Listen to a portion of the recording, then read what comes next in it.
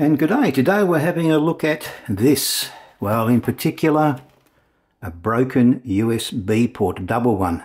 I had the grandkids over and uh, they loved the projector. And when we had the USB hard drive plugged in, they pushed it against the wall and it snapped the actual device itself, the whole thing. So I'm going to pull it apart and solder a new one in. Well, at least that's the idea. So let's get into it and see what happens. Now for the repair we'll be using a USB 2. This is a twin uh, 90 degree version as you can see there. A couple of different types of screwdrivers. I've got a variety of solder suckers. I don't know which one I'll be using. Some soldering fluid, a bit of solder. This is a 60-40 mix. 40% is lead, 60% is tin and of course soldering iron. And over here I've just got a tissue with a little bit of uh, water on it. So that'll be uh, useful for cleaning the solder off the iron itself. And that's basically it. So let's get into it. We'll be needing some screwdrivers to dismantle this uh, Toptro X7 projector. And uh, I've got to have a good look at it because I'm not certain how this thing is put together. So I'm guessing we will need to remove these little rubber legs. So let's see what's underneath them. I've removed the first rubber pad and surprise, surprise, there's no screw under there. So that was a waste of time. We'll have to have another look and see how we can get into it. So far I've pried this little piece off and there's a little black mesh underneath and I'm in the process of pulling this piece off and I'll see if I can get it right open without breaking anything and we'll come back and have a look.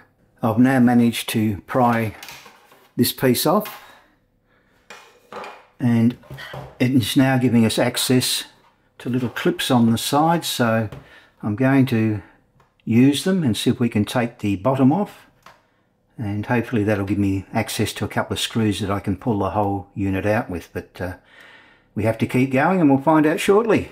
I'm either right or wrong one or the other. Now I've pried off the lid the button itself. This is held in place by two little screws. I've taken that off and that was easier than trying to pull out this little connector because that's a bit, uh, bit brittle I think. There were four screws holding this down. So there was one two three and four. And with a bit of luck it will lift. And there we go. So we've now got access in to replace this. I've just got to desolder that area there. And we're in business. Now I'm half and half. I don't know whether I'll disconnect things we'll see how hard that is and come back in a second. Now, after having a look at these plugs, they're on pretty tight and it's probably just as easy for me to stick a bit of paper in here and just simply desolder from here, saves me pulling everything apart and uh, reassembling as they say. So I'll get the soldering iron heated up, we'll desolder this area here with a solder sucker and pop the new one in. Yeah, I've decided to use the copper braid and uh, see if we can get rid of some of this stuff. Really should have a bigger soldering iron, but this is the only one I've got. Well, now I've got the old part out. It's just a matter of getting the new one and sticking it in place. So we'll do that and come back in a few seconds. Yeah, I finished up using the solder sucker. It was the only thing that uh, worked. And it cleans out the, the actual solder beautifully. Yeah I don't have my macro lens on at the moment but I've cleaned out all the solder that's required there. And next thing will be popping this little piece in. The board's a little bit too hot for me at the moment I'll let it cool down. We'll put this in position and solder it up. So now it's just a matter of popping this piece in. As you can see it's sitting in there nicely and soldering this little piece into position. So we'll get onto that in a second. I'm not certain whether I'll use solder or solder paste. Hmm, have a think about it for a tick. So we'll pop a bit of flux onto it and uh, start doing a bit of soldering.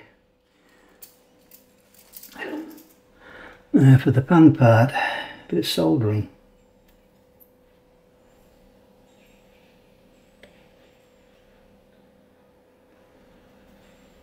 Well, I've got it all soldered up now. Get this out. What I did, I used the paper underneath to hold the plug in position. And uh, it looks all right. So we'll reassemble this thing and, well, obviously turn it on. And with a bit of luck, it might even work. Uh, it's just a matter of putting the screws back in and hopefully everything will align nicely. So everything's aligning okay. I'll reassemble it. And I've just assembled the whole unit. I put the uh, switch on the top here again. Everything's looking pretty good and it's just a matter of now just snapping this back into position.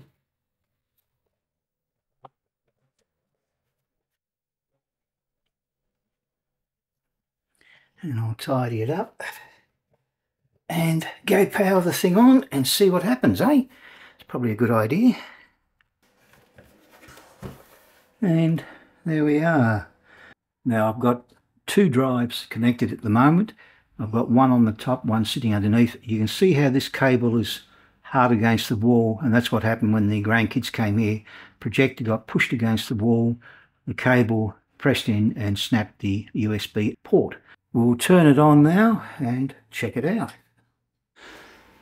So let's uh, have a look and see if everything is connected. And movies 1 and movies 2 so both hard drives are fully functional. So the repair was successful. Now hopefully you've learned something from this video. Number one don't let the grandkids play around when you've got your projector going.